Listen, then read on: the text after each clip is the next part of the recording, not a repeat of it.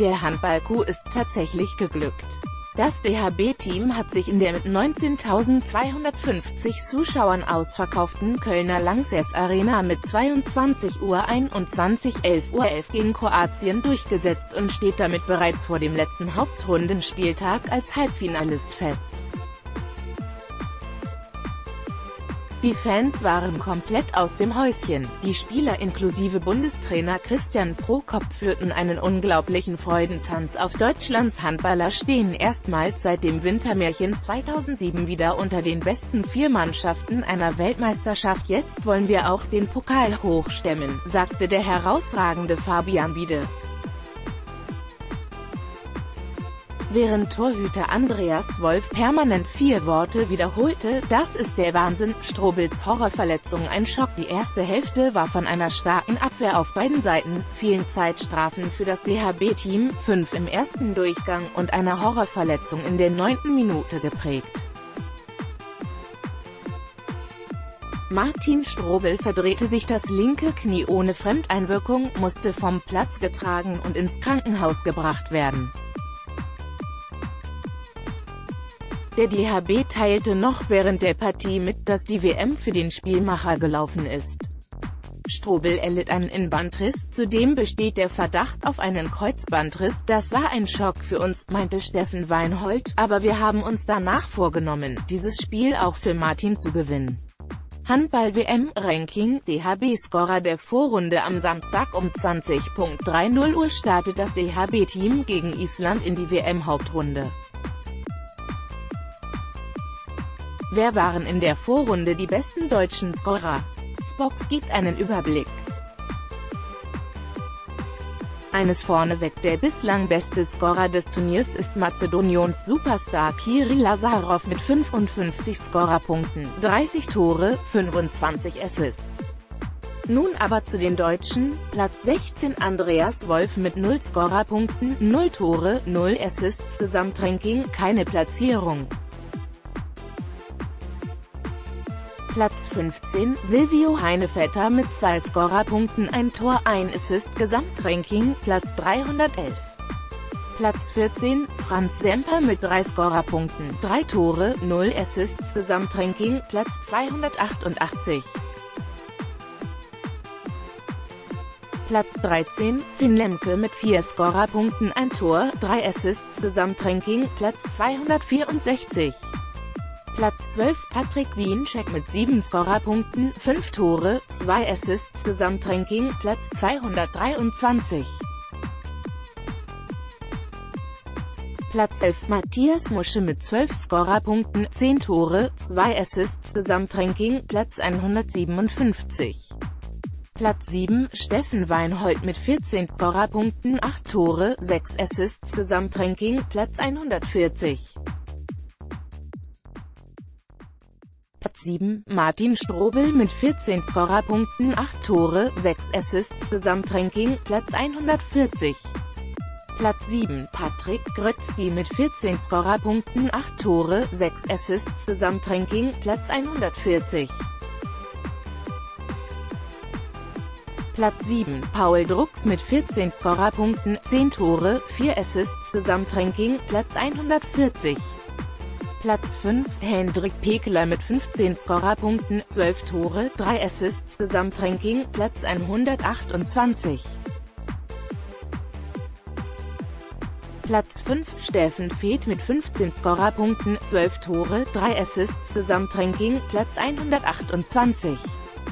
Platz 4, Fabian Böhm mit 16 Scorerpunkten, 10 Tore, 6 Assists Gesamtranking, Platz 115. Platz 3, Yannick Kohlbacher mit 19 Scorerpunkten, 14 Tore, 5 Assists Gesamtranking, Platz 90. Platz 2, Fabian Wiede mit 22 Scorerpunkten, 9 Tore, 13 Assists Gesamtranking, Platz 66. Platz 1 Uwe Gensheimer mit 32 Scorerpunkten 31 Tore, 1 Assist Gesamtranking, Platz 22. Eine ausgeglichene erste Hälfte Paul Drucks und Wiede übernahmen anschließend den Spielaufbau. Vor allem Wiede glänzte in den ersten 30 Minuten mit vier Treffern.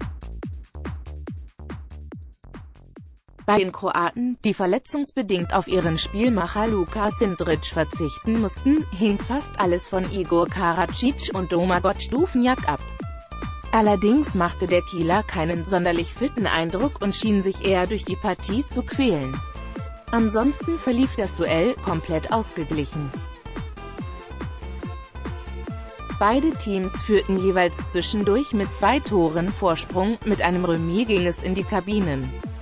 Wieder bringt DHB-Team mit drei Toren in Führung, da Kapitän Uwe Gensheimer wie auch Patrick Grötzky auf Rechtsaußen nicht gut spielten, begann Bundestrainer Christian Prokop den zweiten Durchgang mit Matthias Musche auf Linksaußen.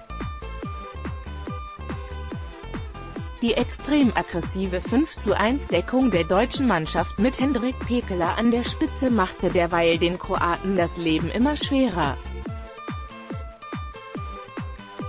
Das Team von Coach Linuza war fand kaum Mittel und wurde teilweise regelrecht gezwungen, mit dem siebten Feldspieler zu agieren.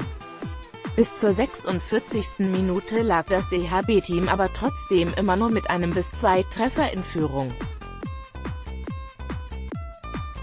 Erst als dann wieder aus dem Rückraum einen grandiosen Wurf in die Maschen knallte, führte Deutschland mit 18.15 Uhr und damit erstmals mit drei Treffern Differenz.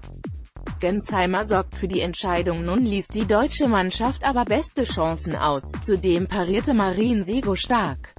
In der 55. Minute, nach neun Minuten ohne deutsches Tor, traf Jakov Frankovic zum 19.18 Uhr für Kroatien. Prokop versuchte es nun mit dem siebten Feldspieler, mit Erfolg. Beim Stande von 20.20 Uhr ging es in die letzten zwei Minuten. Pekeler erzielte nach einem Tempogegenstoß das 21.20 Uhr.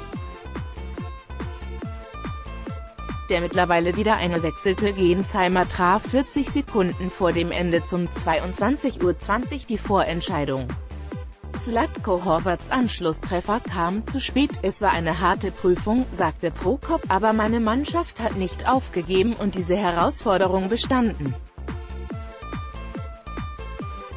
Ich bin unheimlich stolz. Wird das DHB-Team sogar Gruppensieger. Im letzten Spiel der Hauptrunde bekommt es die deutsche Auswahl am Mittwoch mit Spanien zu tun, 20.30 Uhr im Live-Ticker. Sollten das DHB-Team und die Franzosen siegen, käme es auf die Tordifferenz an, die aktuell für Prokops Truppe spricht.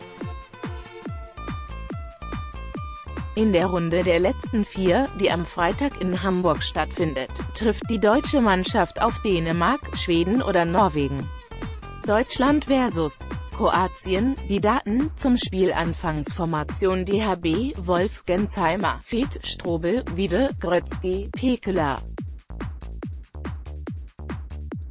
Torschützen Deutschland, Wiede, 6, Gensheimer, 4 bis 2 von 3 7 Meter, Pekeler 3, Heffner, Fed Böhm, Kohlbacher, alle 2, Wiencheck 1, Torschützen Kroatien, Karacic, 4 bis 1 von einem 7 Meter, Streck, 4, Sipik 3, Horvath, 2 bis 0 von einem 7 Meter, Stepancic, Musa, Duvniak, alle 2, Mendik, Frankovic, beide 1-2 Minuten Strafen, Deutschland 5, Kroatien 4 Der Star des Spiels, Fabian Wiede gegen Island noch schwach, übernahm der Berliner vor allem nach der Verletzung von Strobel immer mehr Verantwortung.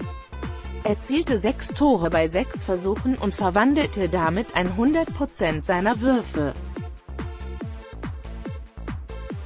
Der Flop des Spiels, Luka Stepancic ließ Karacic und Duvnjak im Angriff häufiger im Stich, weshalb das kroatische Angriffsspiel relativ gut auszurechnen war. Kam auf zwei Tore bei sechs Versuchen.